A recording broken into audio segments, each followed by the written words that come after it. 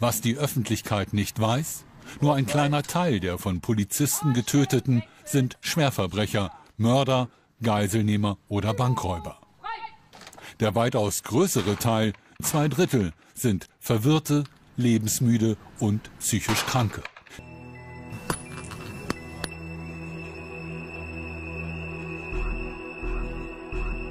Manuel F., Betriebswirt. Nach dem Diplom infolge eines schizophrenen Leidens und Drogenkonsums arbeitslos. Am Vormittag des 28. Juni 2013 kommt es zu dem Vorfall, der auch international für Aufsehen sorgt. Im Zentrum der Hauptstadt, unweit von Parlament und Regierungszentrale. Dort, wo Berlin ganz besonders sicher sein will. Im Neptunbrunnen Magnet für Touristen aus aller Welt, erschießt ein Polizist einen nackten Mann. Ohne Warnschuss. Gezielt in den Oberkörper. Einen Kranken, der eigentlich Hilfe brauchte. Dennoch wird das Ermittlungsverfahren gegen den Schützen schnell eingestellt. Doch die Familie des Opfers will einen Prozess gegen den Schützen erzwingen. Termin beim Rechtsanwalt, dem Strafrechtler Hubert Reiling. Nach erfolglosen Beschwerden gegen die Einstellung des Ermittlungsverfahrens klagen Alexander und Enrico F. nun vor dem Bundesverfassungsgericht. Dabei hoffen sie vor allem auf die Beweiskraft von Videos, die Passanten filmten. Das war keine Notwehr. Da ist von Notwehr gar nichts zu sehen. So viele Leute. Manuel hätte man umgestupst einfach. Er hätte ihn doch ins Bein schießen können. Warum zielt er denn in Kopfhöhe? Ich weiß auch nicht, warum der Polizist mit einer Waffe da, da überhaupt reingegangen überhaupt ist. Was soll das denn? Also, mein, Sie, sehen Sie, das ist ein, ein nackter, kranker, geisteskranker, offensichtlich unter Drogeneinfluss stehender Mann, der da in einem Brunnen steht. Was erwartet der Polizist von, von, von einem, einem Geisteskranken? Hier ist polizeimäßig das diametrale Gegenteil gemacht worden, was in den polizeilichen Dienstanweisungen von diesen Waffenträgern verlangt wird. Auch. Der hätte niemals eine Waffe zücken dürfen. Der hätte ihren Bruder streicheln müssen oder auf ihn beruhigend einreden müssen ja. oder den sozialpsychiatrischen Dienst rufen genau. müssen oder das SEK.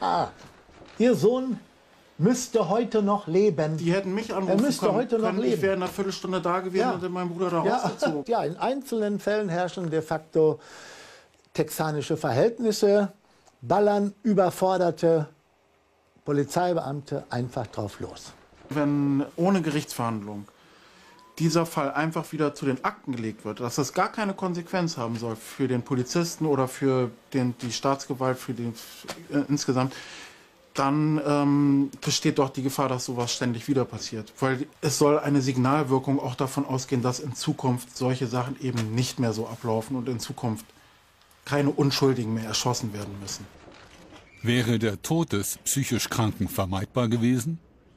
Wir rekonstruieren den Polizeieinsatz. Bilder einer Überwachungskamera, etwa eine halbe Stunde zuvor. In einem Schnellimbiss hinterlässt Manuel F. mehrere zusammengeknüllte Geldscheine für ein Brotmesser, das er sich greift. Damit ritzt er sich draußen die Unterarme, bis sie bluten. Schließlich faltet er ordentlich die Kleidung. Er badet splitternackt. Kurze Zeit später geht in der Einsatzleitzentrale der Polizei ein Funkruf ein. Eine männliche Person am äh, Neptunbrunnen. Eine männliche Person am Neptunbrunnen, Verstand 205. Person mit Messerstichverletzungen im Brunnen, meldet ein Wachpolizist, der den Nackten mit gezogener Pistole zur Rede stellt. Er sei der Messias, entgegnet Manuel F. und fügt sich einen weiteren Schnitt zu, diesmal am Hals, aber nicht lebensgefährlich. Andere Menschen hat der im Brunnen liegende bisher nicht bedroht.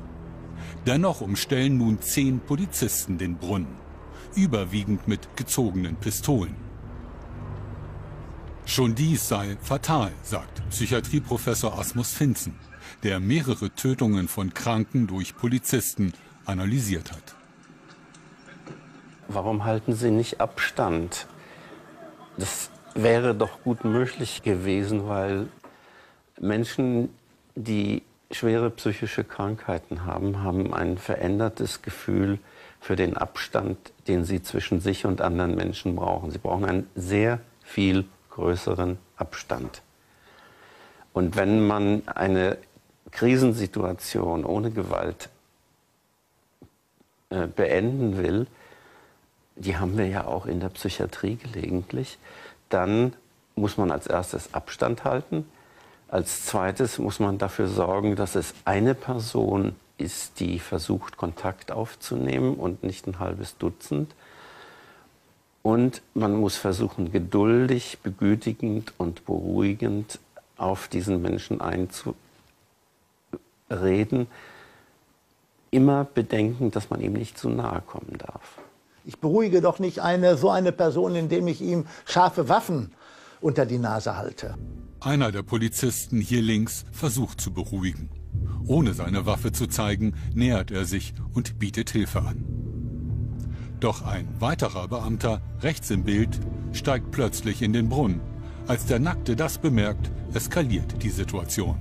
Der psychisch Kranke, der psychotische Mensch reagiert völlig anders als der gewöhnliche Kriminelle.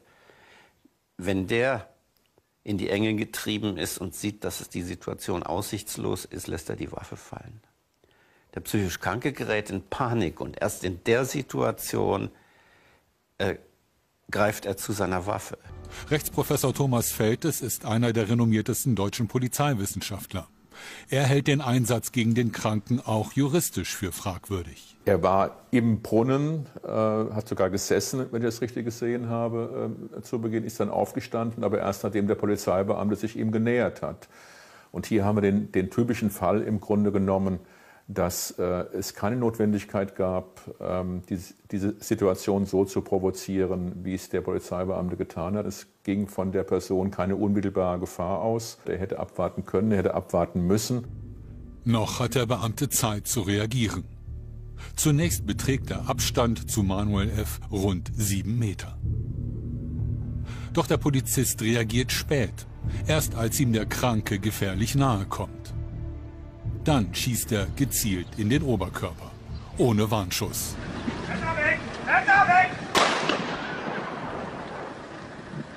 Die nackte Person bewegt sich ja relativ langsam, das heißt, er hätte auch erst noch mal zurückgehen können, den Brunnen verlassen können und schauen können, was macht er, bleibt er vielleicht in dem Brunnen drin aus bestimmten Gründen, weil er das als, als sicher empfindet. Das alles das hätte man abwarten können.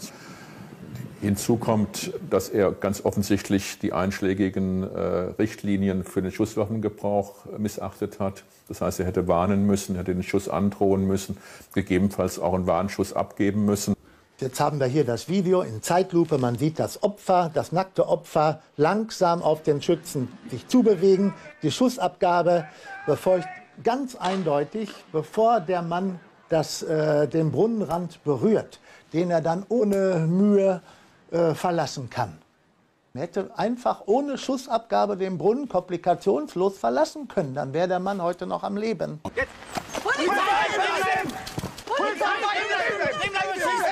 Hier wird der Warnschuss gar nicht erst trainiert. Mittwochs ist sogenannter Messertag. Hauptstadtpolizisten üben den Schuss gleich in den Oberkörper. Trotz gesetzlicher Pflicht, immer das mildeste Mittel zu wählen, den Schuss zunächst anzudrohen oder Feuer in die Luft zu schießen. Ihre Kollegen zielen ja sofort Richtung Oberkörper. Warum wird nicht auf die Beine gezielt? Ja, weil, weil ich einfach keine andere Chance mehr habe, als das vitale Dreieck zu benutzen, weil ich sonst mein Leben nicht mehr schützen kann und ich weiß auch nicht, wie der Treffer auf die Beine, welche Wirkung der Treffer erzielt. Wenn ich den Angriff damit nicht stoppe, bin ich danach tot. Auch wenn die Polizisten eigentlich mit einer stich- und schusssicheren Weste ausgerüstet sind? Das bleibt dahingestellt. Das kann ich nicht sagen. Das, da fehlt mir jetzt äh, die, die, die Tests von den Schusswesten. Das sogenannte vitale Dreieck tatsächlich ein potenziell tödliches Dreieck im Bereich um Herz und Lunge. Obwohl die Beamten Schutzwesten tragen, obwohl in der Hauptstadt noch kein Polizist erstochen wurde. Training im sogenannten Schießkino. Schulmäßig der Versuch, einen flüchtigen Gewalttäter zu stellen. Zuerst die Warnung. Polizei, keine Bewegung oder ich schieße! Dann der Notwehrschuss in den Oberkörper des Bewaffneten. Mehrere tausend Mal muss das ein Polizist in seinem Berufsleben üben. Wir müssen die Kollegen dazu bringen, durch ständiges Training ihre Handlung zu automatisieren. Ja, diese Stresssituation einfach so zu bewältigen können, dass automatisierte Handlungen dazu führen, dass sie rechtlich richtig korrekt arbeiten, ohne großartig nachzudenken. Rechtlich korrekt arbeiten? Ohne großartig nachzudenken?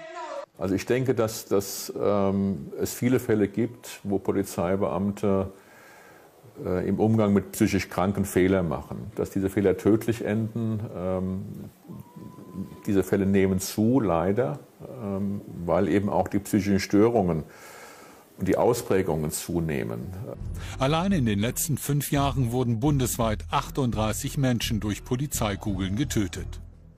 Nur ein kleiner Teil der Erschossenen, hier schwarz, waren Kriminelle im engeren Sinn, beziehungsweise die Hintergründe sind unklar.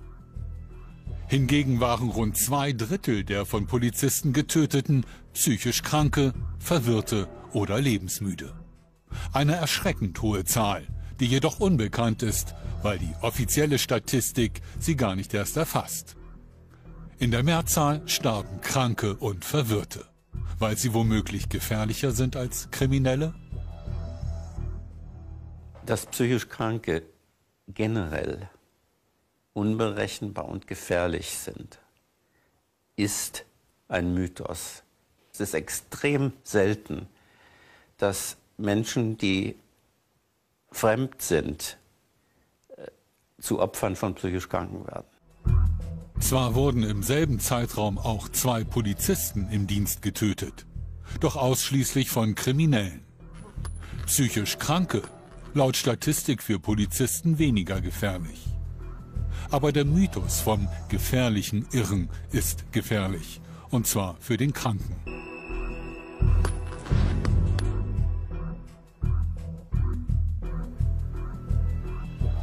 Berlin-Reinickendorf im August 2011. Durch eine Polizeikugel stirbt die 53-jährige Andrea H. Getötet in ihrem Zimmer in einer Einrichtung für betreutes Wohnen. Die Nachbarn in der Großsiedlung sind entsetzt. Weil es eigentlich eine liebe Frau war. Ich finde das nicht so cool, dass da gleich geschossen wurde. Ganz ehrlich. Nun weiß ich nicht, ob das so gut ist, wenn die ganze Polizei dann schon gleich dabei war. Vielleicht bringt das so eine Leute zusätzlich in Panik. Ein polizeilicher Großeinsatz, der aus dem Ruder lief. Dabei ist der Fall zunächst Routinesache, sowohl für die Leiterin der Einrichtung als auch für die beteiligten Verwaltungsbediensteten und Polizisten. An diesem Morgen soll Andrea H. bei Gericht vorgeführt werden, zur Klärung ihrer weiteren Betreuung. Wir sind hier in einer WG für psychisch kranke Menschen, die rund um die Uhr betreut werden, die Wahnvorstellungen haben und die zum Teil diese Wahnvorstellungen auch ganz massive Ängste ähm, hervorrufen. Frau H. gehörte zu denjenigen, die sich in, sehr in ihr Zimmer zurückgezogen hat, die ihren Schutz brauchte, sich dort ihre eigene Welt gebaut hat. So auch an diesem Morgen. Die Kranke reagiert panisch auf die Besucher. Frau H. hatte sich in ihr Zimmer eingeschlossen und die Mitarbeiter aus dem Bezirksamt haben ihr Anliegen vorgebracht. Frau H. hat sie angeschrien durch die Tür. Daraufhin wurde dann der Schlüsseldienst geholt. Der Schlüsseldienst hat das Schloss aufgebrochen und der Polizist stellte sofort seinen Fuß in die Tür, was sicherlich für Frau H. zusätzlich beängstigend war. Wie hat sie reagiert? Ich hörte dann nur noch, dass der Polizist sagte, Messer, alle zurück und die Tür erstmal wieder rangezogen hat. Nun werden Betreuer und die übrigen Bewohner aus der Wohnung verwiesen. Andrea H. hat den Polizisten mit dem Küchenmesser leicht verletzt. An der Hand, was der Beamte zunächst gar nicht merkt. Aber jetzt wird ein Spezialeinsatzkommando gerufen. Doch in der örtlichen Dienststelle beginnt gerade eine sogenannte Einsatzhundertschaft ihren Dienst. Das sind einfache Bereitschaftspolizisten ausgebildet für handgreifliche Demonstrationseinsätze, aber auch für Festnahmen. Und die meinen, dass für die Festnahme einer psychisch kranken Frau kein Spezialeinsatzkommando nötig sei. Deshalb wird das SEK gar nicht erst informiert. Derweil zweifeln die Bezirksamtsmitarbeiter am Sinn einer gewaltsamen Vorführung. Doch weil sie nur Amtshilfe für das Gericht leisten, dürfen sie den Einsatz nicht selbst absagen, aber sie schlagen telefonisch Alarm. Frau H. war sichtbar nicht in der Lage, diese Vorführung äh, vom Amtsgericht äh, aus dem Tagesgeschehen heraus noch Folge zu leisten. Es hätte auch inhaltlich äh, vermutlich vor Gericht nichts gebracht und es war dringendst geboten aus Sicht meiner Mitarbeiter, die aber keine Ärzte sind, dann vielleicht erstmal medizinische Hilfestellung äh, zu leisten. Deshalb rufen sie sofort bei Gericht an. Auch dort ist man nun der Meinung, dass Andrea H. besser in ein Krankenhaus gebracht wird. Damit ist der Vorführbefehl juristisch vom Tisch. Nach meinem Kenntnisstand ist selbstverständlich, sind selbstverständlich die Polizisten davon informiert worden. Doch die Polizisten lassen niemanden mehr heran an ihren Einsatzort. Nicht einmal die Betreuer der Einrichtung, obwohl die Andrea H. kennen und ihr Vertrauen genießen. Man hätte in dem Moment den Einsatz unterbrechen können, eine neue Lagebeurteilung herbeiführen, sich besprechen, gucken, ob es Personen gibt, die da zur Beruhigung beitragen und möglicherweise den Einsatz ganz abbrechen. Hier lief er automatisch durch, ohne dass wir was dazu beitragen konnten, ihn in irgendeiner Weise glimpflich zu beenden. Das hätte an ihrer Ehre quasi gekratzt, wenn sie sich zurückgezogen hätten und gesagt hätten, okay, jetzt holen wir andere, die das Problem lösen, die vielleicht dafür psychologisch besser qualifiziert sind oder auch von der Ausrüstung her besser äh, qualifiziert sind. Das sind diese Dynamiken, die wir eben auch in unseren Studien festgestellt haben, wo dann im Grunde genommen die rationalen Entscheidungen zurücktreten zugunsten ähm, einer Entscheidung, ich will das jetzt zu Ende bringen. Eingreifen müssen die Polizisten jetzt eigentlich nur, falls Andrea H. andere Menschen gefährdet oder sich selbst. Doch sie hat sich nur in ihrem Zimmer verbarrikadiert. Trotzdem beziehen die Bereitschaftspolizisten Stellung. Zwei Beamte mit Schild, dahinter zwei Polizisten mit Reizgassprühgeräten, der Zugführer mit Pistole, vor ihm ein Mann mit einer Ramme. Das Mittel der Ramme verstärkt natürlich die Bedrohungssituation. Das würde auch die Bedrohungssituation für jeden Gesunden äh, über jedes Maß hinaus steigern. Und beim Psychosekranken kann man sich das gar nicht vorstellen, was das auslöst. Eine existenzielle Vernichtungsangst. Wie im Übungsfilm brechen die Polizisten nun die Tür auf. Mit Stahlschild drängen sie hinein, benutzen Pfefferspray. Vom Reizgas blind fuchtelt die Kranke mit dem Messer, aber ohne jemanden zu verletzen. Weil in der Reizgaswolke ein Polizist einen Schritt zurück macht, wähnt ihn sein Zugführer in Lebensgefahr. Sofort schießt er der Kranken in den Oberkörper. Fest steht, dass es nach all dem, was wir polizeitaktisch wissen, schiefgelaufen ist. Das sind Fehler gemacht worden. Und ungeachtet jetzt mal der strafrechtlichen Bewertung, äh, die Polizeibeamtinnen und Beamten müssten sich auch moralisch Vorwürfe machen, weil sie ganz offensichtlich den Tod einer unschuldigen Frau verursacht haben.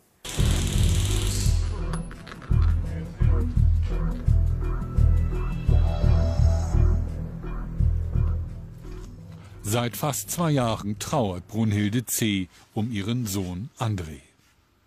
Hier ist erstmal seine Urkunde äh, von der Freiwilligen Polizei. Das hat ihm Freude gemacht. Sein Vater war Beamter und er liebte das Beamtentum. Er war ein sehr williger Mensch. Er war sehr für alte Leute, für Tiere war er. Er war eigentlich ein sehr guter Mensch und auch ein sehr guter Sohn. Ein ehrenamtlicher Hilfspolizist. Nach mehreren persönlichen Katastrophen innerhalb weniger Monate erlitt der gelernte Maler einen Nervenzusammenbruch. Depressionen und Alkohol verstärken seine Psychose. Er hat Wahnvorstellungen, hört Stimmen. Er hat so sehr gelitten unter dem Tod meines Mannes. Und hier, hier ist noch mal sein Sohn. Hier bei uns in der Wohnung. Den hat er ja auch verloren. Der ist ja auch verstorben vor zwei Jahren. Ganz plötzlich. Und irgendwie, das nahm er sich eben alles sehr äh, zu Herzen. Drei, drei. Hier Notruf die Berliner Polizei.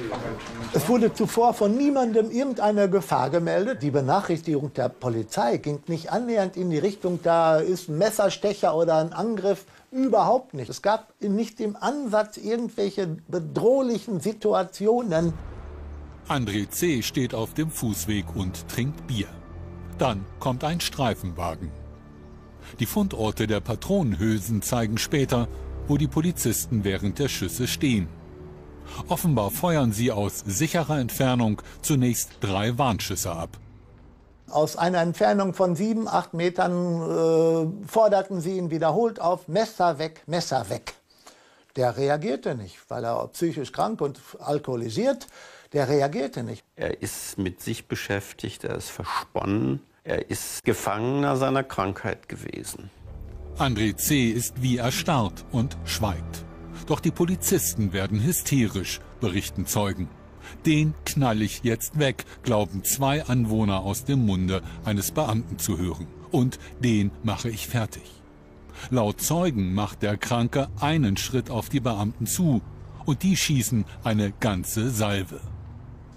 Aus sieben bis zehn Metern wurde er getroffen. In den Fuß und in den Bauch. Das war völlig überzogen. Es wäre was anderes gewesen, wenn das Opfer eine Schusswaffe gehabt hätte oder eine Geisel. Aber der konnte niemanden angreifen, weil weit und breit war kein Mensch. Bei sieben Meter Abstand bin ich nicht in einer Gefahrenzone als bewaffneter Polizist. Erst recht, wenn der Mann nichts gesagt hat, nichts gemacht hat. Die hätten abwarten müssen, ihn in ein Gespräch verwickeln müssen. Die Verstärkung gab, kam mir ein, zwei Minuten später schon an. Insgesamt zehnmal schießen die Polizisten. Sechsmal wird der psychisch Kranke getroffen. Als die Verstärkung kommt, gehen André C.'s Qualen weiter. Denn obwohl schwer verletzt, will er noch immer nicht das Messer hergeben. Das kann er nicht. Er ist psychotisch und in seiner psychotischen Angst ist er auch in einer psychotischen Starre. Er hält krampfhaft an dem fest, von dem er denkt, das kann ihn beschützen vor all dem Übel, was ihm da widerfährt. Er hält sich an dem Messer fest, könnte man auch sagen. Passanten filmen, was dann geschieht. Also man sieht jetzt ganz offensichtlich, die Person ist ähm, schutzlos am Boden. Sie ist aber auch nicht in der Lage, von sich aus irgendeine Gefahr darzustellen. Er kann nicht mehr aufstehen, er ist ja ans Bein getroffen. Spätestens jetzt wäre die Gelegenheit zu sagen, okay, wir ziehen uns ein oder zwei Meter zurück und warten eben, bis ähm, eine geeignete Eingreiftruppe da ist, die eben äh, mit entsprechenden Schutzausrüstungen versehen ist und da auch darauf trainiert ist, so jemanden eben in Gewahrsam zu nehmen oder auch ein Psychologe da ist, äh, der dort gegebenenfalls dann mit der Person spricht. Ähm, es ist niemand gefährdet. Jetzt wird versucht, noch Pfefferspray auf die Person zu sprühen. Auch ein klassischer Fehler. Man weiß genau, dass Pfefferspray bei psychisch kranken Personen eher noch die Aggressivität ähm, an regt. Äh, das sind ja Liter von, von Pfefferspray, die da versprüht werden. Nochmal mit einer größeren Dosis Pfefferspray. Ähm, ganz offensichtlich sind jetzt die Polizeibeamtinnen und Beamten hier oder fühlen sich herausgefordert, die, die, Situation zu Ende zu bringen. Man will nicht auf sich sitzen lassen, dass man es nicht geschafft hat, den festzunehmen bislang und will jetzt unter allen Umständen, das ist sowas wie Polizeiehre, äh, das zu Ende bringen. Jetzt kommt eine weitere Eskalationsstufe, absolut unnötig, den Hund auf die Person zu hetzen. Es gab überhaupt keine Gefahr mehr, die von der Person ausging. Äh, was das sollte, erschließt sich mir überhaupt nicht. Also da ist so ziemlich alles falsch gemacht worden, äh, was man falsch machen kann. Nach zwei Wochen im Koma erliegt André C. seinen Verletzungen. Seither kämpft die Mutter darum, dass den Polizisten der Prozess gemacht wird. Schulbuchmäßig ist es eindeutig entweder eine vorsätzliche äh, Körperverletzung mit Todesfolge. Äh, wenn man eine Notwehr bejaht, ist es ein Notwehrexzess von dem Zeitpunkt aus, wo die Person am, am Boden liegt. Ähm, also alles das, was man oder was wir unseren Studierenden an der Hochschule beibringen, wenn man das anwendet, müssten zumindest einige der Polizeibeamtinnen und Beamten verurteilt werden. Anders die Staatsanwaltschaft. Gegenüber dem Kranken hätten die Polizisten wörtlich alles versucht, um ihn möglichst schonend zu überwältigen. Zitat Ende. Das Ermittlungsverfahren wurde deshalb eingestellt. Ebenso wie das um den Tod von Manuel F. im Neptunbrunnen und den von Andrea H. in der betreuten Wohngemeinschaft. Folge? Kein Prozess, also keine öffentliche Aufarbeitung, also keine politischen Konsequenzen. Den Angriff damit nicht stoppe, bin ich danach tot. Auch wenn die Polizisten eigentlich mit einer stich- und schusssicheren Weste ausgerüstet sind? Das bleibt dahingestellt. Das kann ich nicht sagen. Das, da fehlt mir jetzt äh, die, die, die Tests von den Schusswesten. Das sogenannte vitale Dreieck, tatsächlich ein potenziell tödliches Dreieck im Bereich um Herz und Lunge. Obwohl die Beamten Schutzwesten tragen, obwohl in der Hauptstadt noch kein Polizist erstochen wurde. Training im sogenannten Schießkino. Schulmäßig der Versuch, einen flüchtigen Gewalttäter zu stellen. Zuerst die Warnung. Polizei! Keine Bewegung oder ich schieße! Dann der Notwehrschuss in den Oberkörper des Bewaffneten. Mehrere tausend Mal muss das ein Polizist in seinem Berufsleben üben. Wir müssen die Kollegen dazu bringen, durch ständiges Training ihre Handlung zu automatisieren. Ja, diese Stresssituation einfach so zu bewältigen können, dass automatisierte Handlungen dazu führen, dass sie rechtlich richtig korrekt arbeiten, ohne großartig nachzudenken. Rechtlich korrekt arbeiten? Ohne großartig nachzudenken? Also ich denke, dass, dass ähm, es viele Fälle gibt, wo Polizeibeamte äh, im Umgang mit psychisch Kranken Fehler machen. Dass diese Fehler tödlich enden, ähm, diese Fälle nehmen zu, leider, ähm, weil eben auch die psychischen Störungen und die Ausprägungen zunehmen. Allein in den letzten fünf Jahren wurden bundesweit 38 Menschen durch Polizeikugeln getötet. Nur ein kleiner Teil der Erschossenen, hier schwarz, waren Kriminelle im engeren Sinn, beziehungsweise die Hintergründe sind unklar. Hingegen waren rund zwei Drittel der von Polizisten getöteten psychisch Kranke, Verwirrte oder lebensmüde. Eine erschreckend hohe Zahl, die jedoch unbekannt ist, weil die offizielle Statistik sie gar nicht erst erfasst. In der Mehrzahl starben Kranke und Verwirrte, weil sie womöglich gefährlicher sind als Kriminelle? Dass psychisch Kranke generell unberechenbar und gefährlich sind, ist ein Mythos. Es ist extrem selten, dass Menschen, die fremd sind, äh, zu Opfern von psychisch Kranken werden. Zwar wurden im selben Zeitraum auch zwei Polizisten im Dienst getötet, doch ausschließlich von Kriminellen. Psychisch Kranke, laut Statistik für Polizisten weniger gefährlich. Aber der Mythos vom gefährlichen Irren ist gefährlich, und zwar für den Kranken. Amtsgericht ähm, aus dem Tagesgeschehen heraus noch Folge zu leisten. Es hätte auch inhaltlich äh, vermutlich vor Gericht nichts gebracht und es war dringendst geboten aus Sicht meiner Mitarbeiter, die aber keine Ärzte sind, dann vielleicht erstmal medizinische Hilfestellung äh, zu leisten. Deshalb rufen sie sofort bei Gericht an. Auch dort ist man nun der Meinung, dass Andrea H. besser in ein Krankenhaus gebracht wird. Damit ist der Vorführbefehl juristisch vom Tisch. Nach meinem Kenntnisstand ist selbstverständlich, sind selbstverständlich die Polizisten davon informiert worden. Doch die Polizisten lassen niemanden mehr heran an ihren Einsatzort. Nicht einmal die Betreuer der Einrichtung, obwohl die Andrea H. kennen und ihr Vertrauen genießen. Man hätte in dem Moment den Einsatz unterbrechen können, eine neue Lagebeurteilung herbeiführen, sich besprechen, gucken, ob es Personen gibt, die da zur Beruhigung beitragen und möglicherweise den Einsatz ganz abbrechen. Hier lief er automatisch durch, ohne dass wir was dazu beitragen konnten, ihn in irgendeiner Weise glimpflich zu beenden. Das hätte an ihrer Ehre quasi gekratzt, wenn sie sich zurückgezogen hätten und gesagt hätten, okay, jetzt holen wir andere, die das Problem lösen, die vielleicht dafür psychologisch besser qualifiziert sind oder auch von der Ausrüstung her besser äh, qualifiziert sind.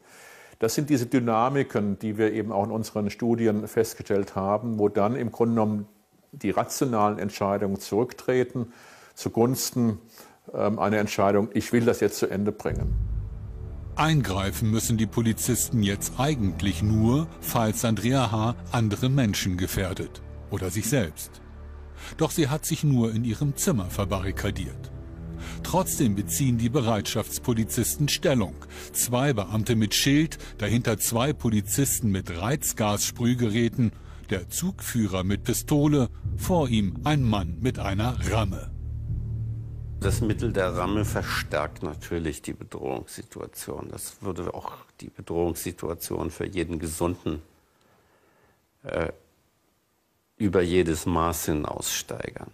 Und beim Psychosekranken kann man sich das gar nicht vorstellen, was das auslöst. Eine existenzielle Vernichtungsangst. Wie im Übungsfilm brechen die Polizisten nun die Tür auf. Mit Stahlschild drängen sie hinein benutzen Pfefferspray. Vom Reizgas blind fuchtelt die Kranke mit dem Messer, aber ohne jemanden zu verletzen. Weil in der Reizgaswolke ein Polizist einen Schritt zurück macht, wähnt ihn sein Zugführer in Lebensgefahr. Sofort schießt er der Kranken in den Oberkörper. Fest steht, dass es nach all dem, was wir polizeitaktisch wissen, schiefgelaufen ist. Das sind Fehler gemacht worden. Und ungeachtet jetzt mal der strafrechtlichen Angst ist er auch in einer psychotischen Starre. Er hält krampfhaft an dem fest, von dem er denkt, das kann ihn beschützen vor all dem Übel, was ihm da widerfährt. Er hält sich an dem Messer fest, könnte man auch sagen. Passanten filmen, was dann geschieht. Also man sieht jetzt ganz offensichtlich, die Person ist ähm, schutzlos am Boden. Sie ist aber auch nicht in der Lage, von sich aus irgendeine Gefahr darzustellen. Er kann nicht mehr aufstehen, er ist ja ans Bein getroffen. Spätestens jetzt wäre die Gelegenheit zu sagen, okay, wir ziehen uns ein oder zwei Meter zurück und warten eben, bis ähm, eine geeignete Eingreiftruppe da ist, die eben äh, mit entsprechenden Schutzausrüstungen versehen ist und da auch darauf trainiert ist, so jemanden eben in Gewahrsam zu nehmen oder auch ein Psychologe da ist, ähm, der dort gegebenenfalls dann mit der Person spricht. Ähm, es ist niemand gefährdet. Jetzt wird versucht, noch Pfefferspray auf die Person zu sprühen. Auch ein klassischer Fehler. Man weiß genau, dass Pfefferspray bei psychisch kranken Personen eher noch die Aggressivität ähm, anregt. Äh, das sind ja Liter von, von Pfefferspray, die da versprüht werden. Nochmal mit einer größeren Dosis Pfefferspray. Ähm, ganz offensichtlich sind jetzt die Polizeibeamtinnen und Beamten hier oder fühlen sich herausgefordert, die, die, Situation zu Ende zu bringen. Man will nicht auf sich sitzen lassen, dass man es nicht geschafft hat, den festzunehmen bislang und will jetzt unter allen Umständen, das ist sowas wie Polizeiehre, äh, das zu Ende bringen. Jetzt kommt eine weitere Eskalationsstufe, absolut unnötig, den Hund auf die Person zu hetzen. Es gab überhaupt keine Gefahr mehr, die von der Person ausging. Äh, was das sollte, erschließt sich mir überhaupt nicht. Also da ist so ziemlich alles falsch gemacht worden, äh, was man falsch machen kann. Nach zwei Wochen im Koma erliegt André C. seinen Verletzungen. Seither kämpft die Mutter darum, dass den Polizisten der Prozess gemacht wird. Schulbuchmäßig ist es eindeutig entweder eine vorsätzliche äh, Körperverletzung mit Todesfolge. Äh, wenn man eine Notwehr bejaht, ist es ein Notwehrexzess von dem Zeitpunkt aus, wo die Person am, am Boden liegt. Ähm, also alles das, was man oder was wir unseren Studierenden an der Hochschule beibringen, wenn man das anwendet, müssten zumindest einige der Polizeibeamtinnen und Beamten verurteilt werden. Anders die Staatsanwaltschaft. Gegenüber dem Kranken hätten die Polizisten wörtlich alles versucht, um ihn möglichst schonend zu überwältigen. Zitat Ende. Das Ermittlungsverfahren wurde deshalb eingestellt. Ebenso wie das um den Tod von Manuel F. im Neptunbrunnen und den von Andrea H. in der betreuten Wohngemeinschaft. Folge? Kein Prozess, also keine öffentliche Aufarbeitung. Wo Polizeibeamte äh, im Umgang mit psychisch Kranken Fehler machen. Dass diese Fehler tödlich enden, ähm, diese Fälle nehmen zu, leider, ähm, weil eben auch die psychischen Störungen und die Ausprägungen zunehmen. Allein in den letzten fünf Jahren wurden bundesweit 38 Menschen durch Polizeikugeln getötet. Nur ein kleiner Teil der Erschossenen, hier schwarz, waren Kriminelle im engeren Sinn, beziehungsweise die Hintergründe sind unklar. Hingegen waren rund zwei Drittel der von Polizisten getöteten psychisch Kranke, Verwirrte oder lebensmüde. Eine erschreckend hohe Zahl, die jedoch unbekannt ist, weil die offizielle Statistik sie gar nicht erst erfasst. In der Mehrzahl starben Kranke und Verwirrte, weil sie womöglich gefährlicher sind als Kriminelle? Dass psychisch Kranke generell unberechenbar und gefährlich sind, ist ein Mythos. Es ist extrem selten, dass Menschen, die fremd sind, äh, zu Opfern von psychisch Kranken werden. Zwar wurden im selben Zeitraum auch zwei Polizisten im Dienst getötet, doch ausschließlich von Kriminellen. Psychisch Kranke, laut Statistik für Polizisten weniger gefährlich. Aber der Mythos vom gefährlichen Irren ist gefährlich, und zwar für den Kranken.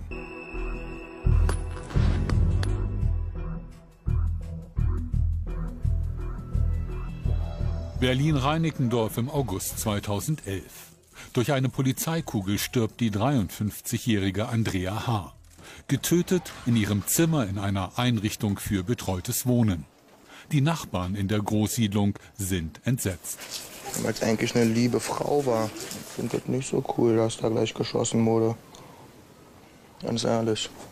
Nun weiß ich nicht, ob das so gut ist, wenn die ganze Polizei dann schon gleich dabei war. Vielleicht bringt das so eine Leute zusätzlich in Panik.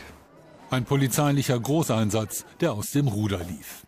Dabei ist der Fall zunächst Routinesache, sowohl für die Leiterin der Einrichtung als auch für die beteiligten Verwaltungsbediensteten und Polizisten.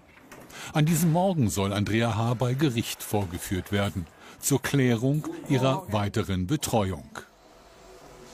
Wir sind hier in einer WG für psychisch kranke Menschen, die rund um die Uhr betreut werden, die Wahnvorstellungen haben und die zum Teil diese Wahnvorstellungen auch ganz massive Ängste ähm, hervorrufen. Frau H. gehörte zu denjenigen, die sich sehr in ihr Zimmer zurückgezogen hat, die ihren Schutz brauchte, sich dort ihre eigene Welt gebaut hat. So auch an diesem Morgen. Die Kranke reagiert panisch. Die, die, die Tests von den Schutzwesten? Das sogenannte vitale Dreieck, tatsächlich ein potenziell tödliches Dreieck im Bereich um Herz und Lunge obwohl die Beamten Schutzwesten tragen, obwohl in der Hauptstadt noch kein Polizist erstochen wurde. Training im sogenannten Schießkino. Schulmäßig der Versuch, einen flüchtigen Gewalttäter zu stellen. Zuerst die Warnung. Polizei! Keine Bewegung oder ich schieße! Dann der Notwehrschuss in den Oberkörper des Bewaffneten. Mehrere tausend Mal muss das ein Polizist in seinem Berufsleben üben. Wir müssen die Kollegen dazu bringen, durch ständiges Training ihre Handlung zu automatisieren. Ja, diese Stresssituation einfach so zu bewältigen können, dass automatisierte Handlungen dazu führen, dass sie rechtlich richtig korrekt arbeiten, ohne großartig nachzudenken. Rechtlich korrekt arbeiten, ohne großartig nachzudenken?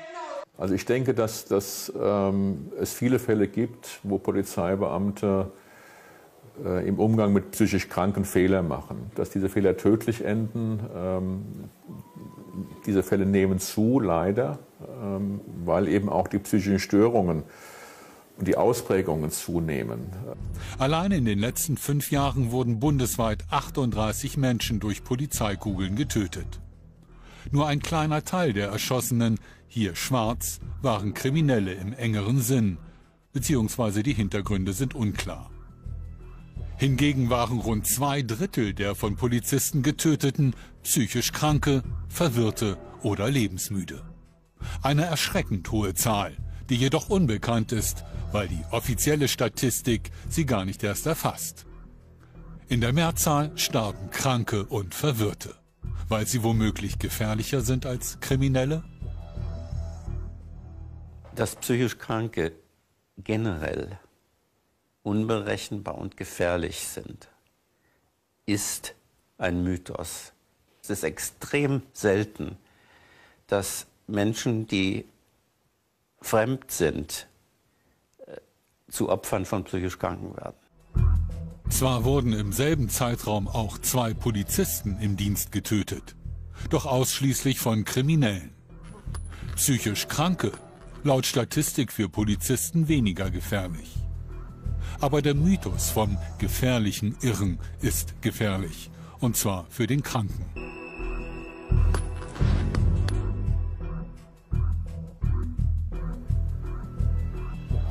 Berlin-Reinickendorf im August 2011. Durch eine Polizeikugel stirbt die 53-jährige Andrea H. Getötet in ihrem Zimmer Strafrechtler Hubert Reiling. Nach erfolglosen Beschwerden gegen die Einstellung des Ermittlungsverfahrens klagen Alexander und Enrico F. nun vor dem Bundesverfassungsgericht. Dabei hoffen sie vor allem auf die Beweiskraft von Videos, die Passanten filmten. Das war keine Notwehr. Da ist von Notwehr gar nichts zu sehen. So viele Leute. Manuel hätte man umgestupst einfach. Er hätte ihm doch ins Bein schießen können. Warum zielt er denn in Kopfhöhe? Ich weiß auch nicht, warum der Polizist mit einer Waffe da, da überhaupt reingegangen Überhaupt ist. Was soll das denn? Also, mein, äh, Sie, sehen Sie, das ist ein, ein nackter, kranker, geisteskranker, offensichtlich unter Drogeneinfluss stehender Mann, der da in einem Brunnen steht. Was erwartet der Polizist von, von, von einem, einem Geisteskranken? Hier ist polizeimäßig das diametrale Gegenteil gemacht worden, was in den polizeilichen Dienstanweisungen von diesen Waffenträgern verlangt wird. Auch. Der hätte niemals eine Waffe zücken dürfen. Der hätte ihren Bruder streicheln müssen oder auf ihn beruhigend einreden müssen oder den sozialpsychiatrischen Dienst rufen müssen oder das SEK. Ihr Sohn müsste heute noch leben. Die hätten mich Er anrufen müsste können, heute noch können. leben. Ich wäre in einer Viertelstunde da gewesen und hätte meinen Bruder da ja, rausgezogen. ja, in einzelnen Fällen herrschen de facto texanische Verhältnisse, ballern überforderte Polizeibeamte einfach drauf los.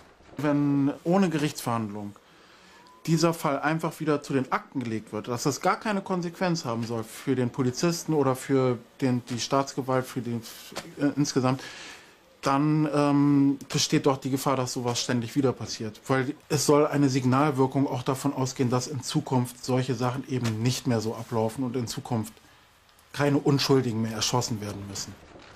Wäre der Tod des psychisch Kranken vermeidbar gewesen? Wir rekonstruieren den Polizeieinsatz. Bilder einer Überwachungskamera, etwa eine halbe Stunde zuvor. In einem Schnellimbiss hinterlässt Manuel F. mehrere zusammengeknüllte Geldscheine für ein Brotmesser, das er sich greift. Damit ritzt er sich draußen die Unterarme, bis sie bluten. Schließlich faltet er ordentlich die Kleidung. Er badet splitternackt. Kurze Zeit später geht in der Einsatzleitzentrale der Polizei ein Funkruf ein. Eine männliche Person am äh, Neptunbrunnen. Eine männliche Person am Neptunbrunnen, Verstand 205. Person mit Messerstichverletzungen im Brunnen, meldet ein Wachpolizist, der den Nackten mit gezogener Pistole zur Rede stellt. Er sei der Messias, entgegnet Manuel F. und fügt sich einen weiteren Schnitt zu, diesmal am Hals.